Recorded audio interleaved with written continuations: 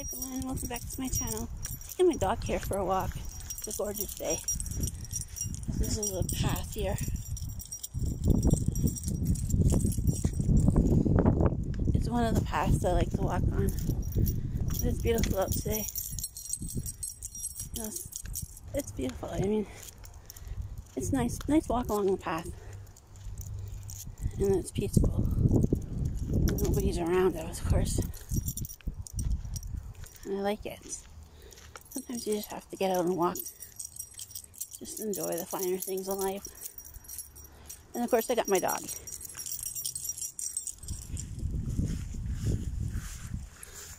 That's my dog who I'm taking a walk with. So I'll bring you along with me. And there's more.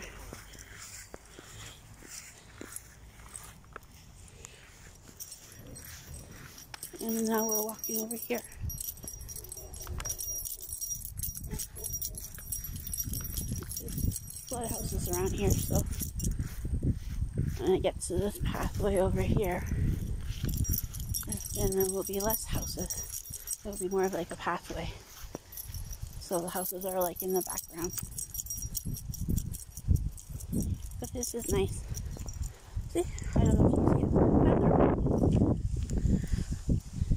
see a lot of angel feathers around. I call them angel feathers because usually I feel they're a sign, like a sign from the angels.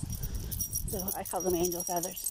Because usually, in, like when I take my dog out in the morning, sometimes I see feathers in places where I take her, and I call them angel feathers, anyways.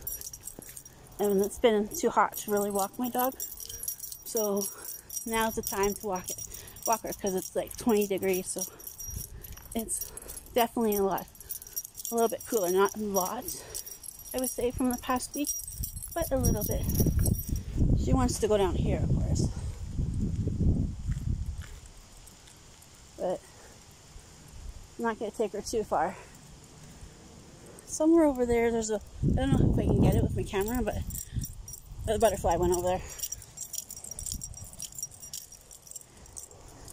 I love watching butterflies. Now we got a plane flying overhead. But it's okay because you know what? Eventually I'll, I'll be back on a plane sometime. I love flying.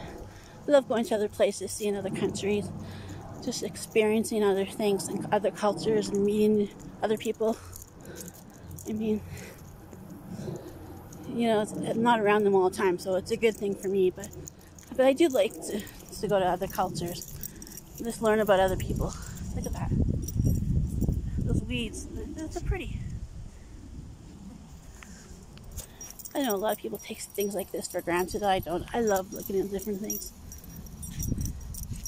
Anyways, I'm to start walking back this way.